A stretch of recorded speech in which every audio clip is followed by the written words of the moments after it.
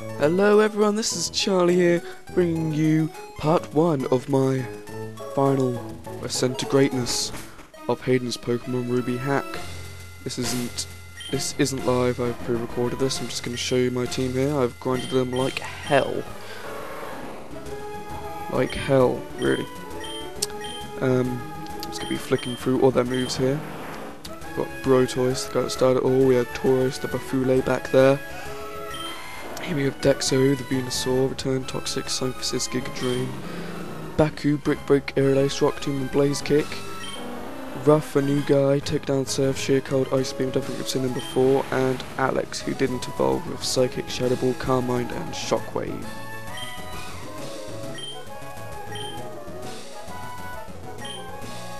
Sorry about that. I'll just cut that out. Here I come for the first Elite Four member. Here I go to switch around my team, but then I realise that no, it would be a better idea just to stay in. Let's do this. Welcome, Challenger. I'm Sidney of the Elite Four. I like that look you'll give me. I guess you'll give me a good match. That's good. I missed that part. Alright, you and me. Let's try a battle that can only be staged here. The Pokemon League! I'm gonna do something amazing and spread this up to double so the music in the background might be a little fast. If they're at all. I'm not sure if it will show up when I render it. I give the strength, and it's a critical hit and a KO. And then I switch out to Baku here, who's being a boss. And he's like, raw. And he's like, and I go for the blaze kick. Miss. And it goes for the cotton spore, which sharply lowers my speed. And then it gets the leech seed off, which kind of just it, I think it goes to um, kind of slow me down and drain me down, but I, I stay in and take it anyway. So that's Shiftry, and I think he's got less Pokemon here than he does normally. I'm not sure. It goes to double team as I go for the Brick Break, and it hits, and I kick him right in the face, BAM! and it kills. Yeah, Brick Break and I kick him. Oh yeah, that still works. It's not a punching move. He's about to Sharpedo, stay in because I'm a boss, even though it's water type on that type disadvantage. And I'm still getting Leech Seed damage, which is a shame. I go for the Brick Break, which will be super effective since Sharpedo is a water and dark Pokemon. But I'm confused. Then I hit myself in the face. And it's like, ah. Then I get more Leech Seed damage. I think I better switch out here because he's going to be faster and go for a waterfall or something and kill me. So I switch out to Dexo as he goes for the Surf, which would have killed me, and if not the Confusion or the Leech Seed would have. And I go for the Giga Drain, and I'm like, Wah!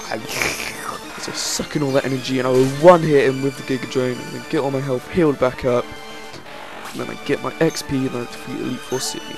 Well, how'd you like that? I lost. Heh, doesn't matter. I think that's what he said. Well, listen to what this loser has to say.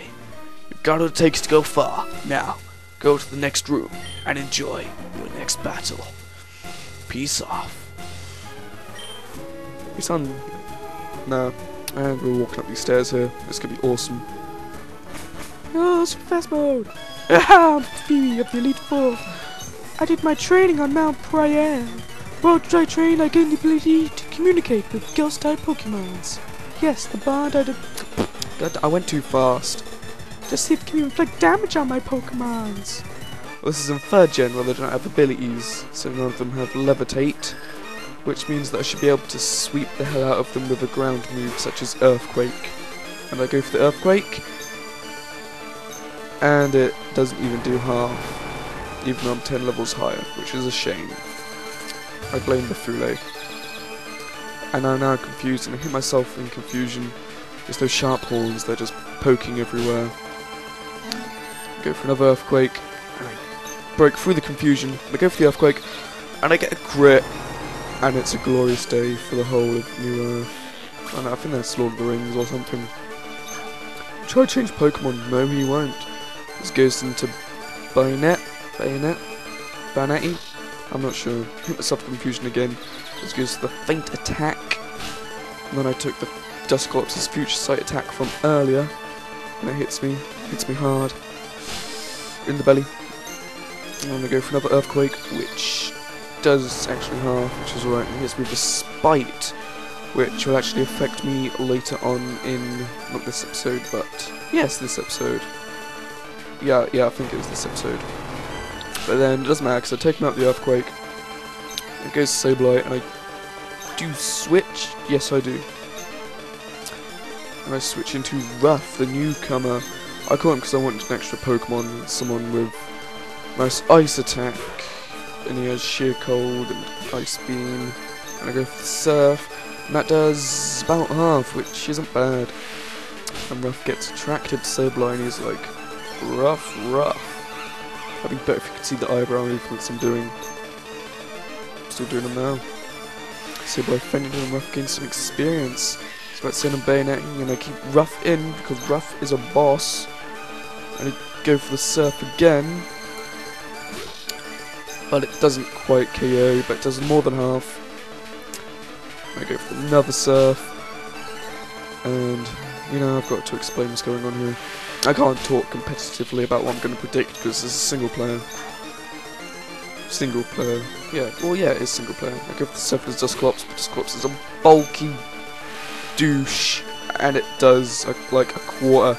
I think, right, the only choice here is to go for Sheer Colds, which is a one hit KO move, so it will always kill when it hits, as long as it, if it hits, but it's only got like 5% accuracy, and I go for two or three, I think. And then Ruff gets KO'd, which is a shame. And I think it's time that Brotoise had some action. So I sent out Brotoise, the guy that started it all, the champ himself. Blastoise is he's, he's like the king of all Pokemons. Goes for the bite, super effective. And he flinches the Dusclops like a boss. He goes for another bite and it brings him down to like 1 HP and he gets another flinch. And then the pussy ass Phoebe uses full restore which takes him up to full. And I bite him again. Then I bite him again, which takes me down to like 10. As goes for Shadow Ball, which I just absolutely tank. Uses another full restore on uh, stupid Dusclops. And I'm thinking, right, screw it, I'm going to Surf. And I'm like, whoa! And just take him down to 1 HP again. Because apparently this Dusclops thinks he sees some kind of funny guy. Then I'm confused, hit myself for confusing, but I'm just messing with him really, because I know I'm about to win. Snap out the confusion like a boss, which I've said that about three times. Go for the bite, bite his head off, and kick his ass. Play feed Elite Four Phoebe. Oh, darn, I can't remember her voice. Brilliant. Oh, darn. My name's Glacia, ear of the Elite Four. I've travelled from afar to Hoenn so that I may hone my icy skills. But all I have seen at challenges by weak trainers and their Pokemon. What about you? It would please me to no end if I could go all out against you. I know why she sounds like an old woman. She looks like an old woman, like in her 50s. She looks a bit like my nanny, actually. Anyway, she's got a Glalie here. I love Glalie. I've always loved Glalie. It's been one of my... Well, used to be one of my favourite Pokemon. And then something happened. We have the super effective Rock Smash, but it's not for... But it is effective, but it's a weak move, and it does, like, barely nothing. So that's a shame, and I go for the Earthquake, which is like... BOOM! Takes about half health out. And I think that was my last Earthquake. Yep, because of the spite that Ben E used earlier. So, and that reduced the PP of my move, so I couldn't use it, and now Earthquake is all out. And as he switches into the Water Ice type Pokemon Sealeo, I go into my Fire Pokemon Baku. What, what are you thinking, you may ask? Well, he's firefighting, and I don't know if you knew this, but fighting is super thing against ice. And I just kick him in the face with my Brick Break, and bam, and he's dead. And then I just go on a crazy sweeping streak with Baku and take out the remaining four of his Pokemon, I believe. By just kicking them all in the face with Brick Break. Yeah. Um, yes, while this is kicking off in the background, uh, this video may have not been the most exciting video, but I, I've need I need to finish off my series. Well, actually, I need to do that in the next part, actually, which should be even more exciting. And after that, I've got some exciting videos almost lined up. Oh no, he lived, and then I he lived with like one HP. And then I, and then he goes for the surf, which almost takes me out. Then he goes for the full restore. He's back at full health, and I go for the brick break, and kick him in the face, and then lives like 2 HP. And I go to kick him in the face again, but he uses another full restore, and he's like, I don't know why I'm saying he, it's a her. And the bird's a trainer. The Pokemon and the girl are both female. Anyway, and I go, and then finally runs out of full restores, and I kick him in the face, and I KO him, and he faints. And then the little red flashing noises going on in the background loads, and it's really annoying. It sends out Glalie, another scary ass Pokemon, and kick him in the face with my Brick Break, and I take him out. And that is game, set, and match for me. Sweep with Baku, man of the match. And I level up. Lovely. You and your Pokemon. How hot your spirits burn. All consuming heat overwhelms. It's not... Oh, I missed that bit. Advance to the next room. And there confirm the truly fearsome feat of the Elite Four. This has been Charlie, guys. If you like the video, please subscribe to see the next exciting new installment of the final one we'll be taking on. I believe it's Drake, the Dragon Master, and the Secret Champion. Yeah, I remember it is. Who I don't think I've actually beaten before in Ruby. It'll be fair exciting. Be sure not to miss it. I'll see you guys then.